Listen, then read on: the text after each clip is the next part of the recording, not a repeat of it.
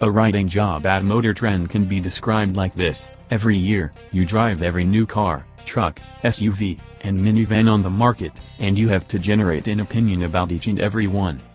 At some point in the past I spent time behind the wheel of the old QX50, however, I have no memory of doing so and as such hold no opinion of Infiniti's compact premium SUV. Well, other than it was never much to look at, though the malformed metal goes back to the pre-Johann Nissan days when the lumpy thing was called the EX35. But things change. I just spent the day with the all-new 2019 QX50. Let's just say I won't be forgetting this one anytime soon. The new QX50 is handsome and honestly good looking. Detractors will no doubt say something about how Infiniti's newest crossover resembles a Mazda CX-3. So what? The Ford Fusion has looked like an Aston Martin for years now. We've all survived. The QX50 shows off Infiniti's talent and affinity for putting sharp creases into curved metal. Such handiwork is impressive from a stamping perspective with the added benefit of looking premium. Plus, the crescent kink in the D-pillar is the first time that particular design trade has worked on a production Infiniti. For proof, check out the hard side of a Q60. Tell me that C-pillar isn't odd. With the QX50, it totally works. The interior is, for the most part, pretty spiffy, as well, especially on higher trimmed models with the blue suede accents. I do have one giant gripe, but let's save that for later.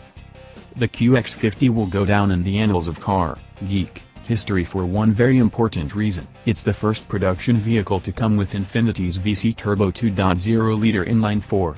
The VC stands for variable compression, and the VC turbo can run at anywhere from 8 to 1 to 14 to 1. If the governing computer sees a need for 10.5 to 1, the engine's compression can switch to that ratio. The VC turbo also features variable displacement, though A, VD turbo would have been a horrible name, and B, the displacement grows only from 1,992 cubic centimeters to 1,997, it remains a 2.0 liter throughout. Long story short, the high 14 to 1 compression ratio is great for low load, high MPG cruising. The 8 to 1 ratio is best for creating big power with the help of a turbocharger. Based on the driver's right foot, the engine literally repositions the bottom end of the connecting rod to vary the compression. Peak output is 268 horsepower at 5,600 revolutions per minute and 280 pounds-to-foot of torque from 1,600 to 4,800 revolutions per minute. The VC Turbo replaces the old VQ 3.7-liter V6, which was good for 325 horsepower at 7,000 revolutions per minute and 267 pounds-to-foot of torque at 5,200 revolutions per minute. Obviously, the old engine made 17.5% more power than the VC turbo does. But look at where the VQ delivered its power. Let's be honest, no QX50 owner ever intentionally revved his or her engine out to 7,000 revolutions per minute. Plus, not only is torque increased with the new engine, but the peak also shows up at very low revs. As the ever-quotable Bob Lutz famously said, Americans buy horsepower but drive torque. In other words, yeah, the big number is lower, but do people buying SUVs like the QX50 actually care? I doubt it, and Infiniti is betting on them not, either.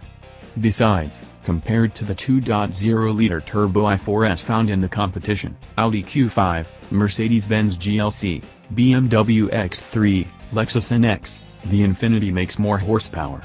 Also important as gas prices edge upward again, fuel economy is up by a whopping 35% compared to the old car. 26 to 27 miles per gallon combined instead of 20.